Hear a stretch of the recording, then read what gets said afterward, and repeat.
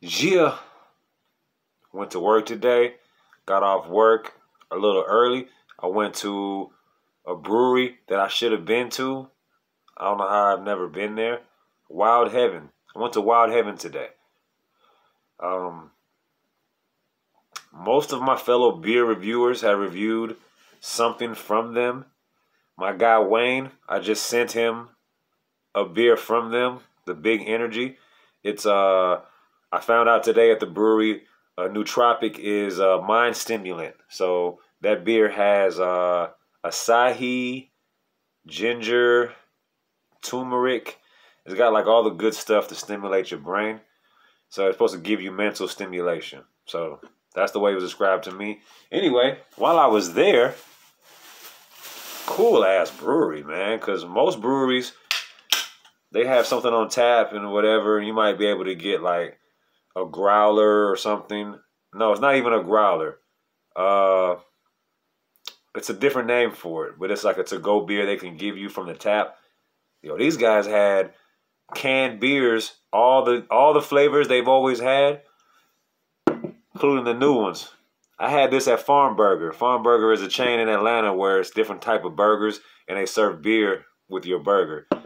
And I saw this, I bought this, I love this. Then I saw Brian the beer snob review this and I was upset because I was hoping to be the first to review this. He was the first. He's a badass. He's a beer snob, so he stays up on everything. Normally I do, especially on this side of town, because Wild Heaven is in Avondale. Avondale is right next to Stone Mountain, is where I live. So for him to find it before me, I was kind of like, ah. All right, guys. So I already had this. I didn't review it because I was at Farm Burger. So this is my second time drinking it. First review on camera. Attack of the Killer Tomato. Look at that can art. Super badass. This is a smoked tomato saison. 6% alcohol. Belgian style saison brewed with smoked tomatoes and 100% Riverbend malt. I don't know what Riverbend malts are. I need to because I'm a beer guy.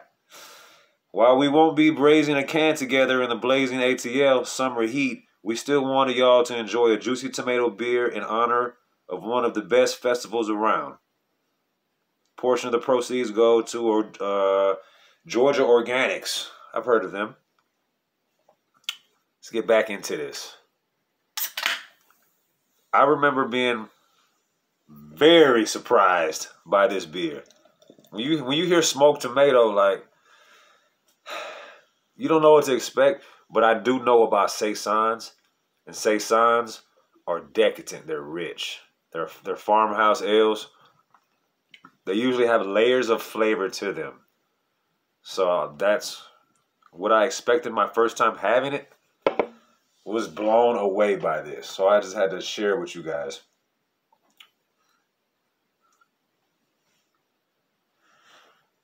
You just get burnt hickory. You don't really get tomatoes. Just burnt hickory, burnt oak, redwood, whatever type of wood they used. That's what I get. And that's about it. Cheers.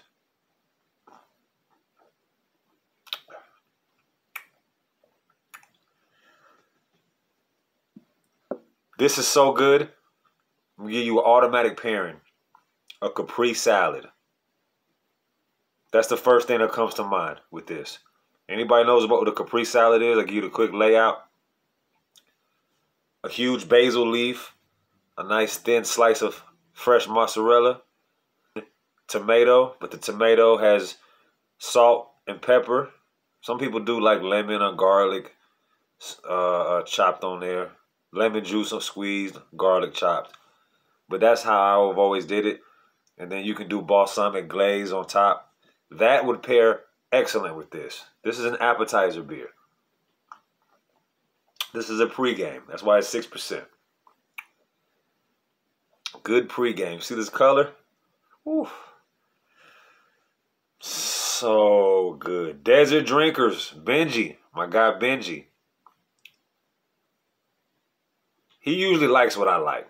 He liked the Atomic Pumpkin. After he saw my review, he stumbled upon it. I think you would like this, man.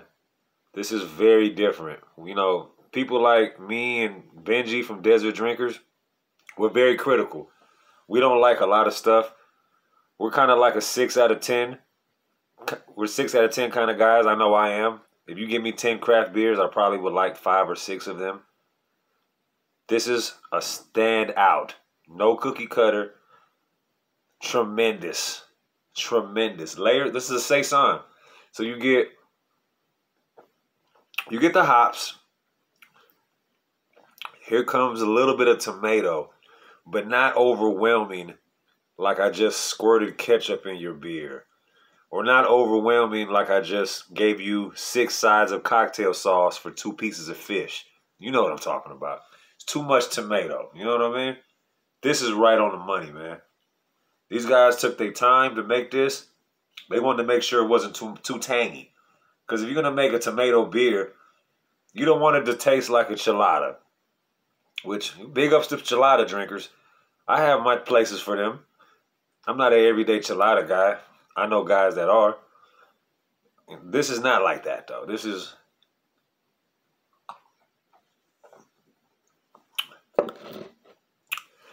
I give this a thumbs up. I give this uh 88 out of 100 for sure.